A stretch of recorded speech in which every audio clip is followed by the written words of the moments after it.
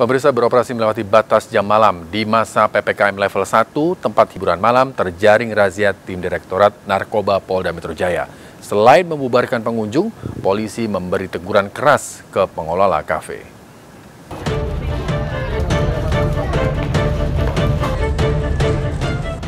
Belasan pengunjung tempat hiburan malam ini dibubarkan. Sebuah tempat hiburan malam di kawasan Senayan, Jakarta Pusat dirajah tim Dit Narkoba Polda Metro Jaya Sabtu dini hari. Pasalnya tempat hiburan malam tersebut masih beroperasi melewati batas jam malam.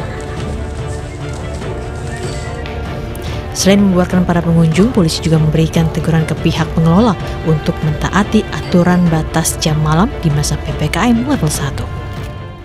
Sekarang sudah jam 1 lewat 1 menit, ya kita sudah menemui di Black Pond tadi jam 1 kurang 3 menit masih buka, kita mati sudah kerumunan, kita bubarkan walaupun nggak banyak. Ya. Sudah muter-muter tadi emang alhamdulillah sebagian atau sebagian banyak sudah tutup semua. Ini di Black Pond masih buka, tapi sudah sedikit orang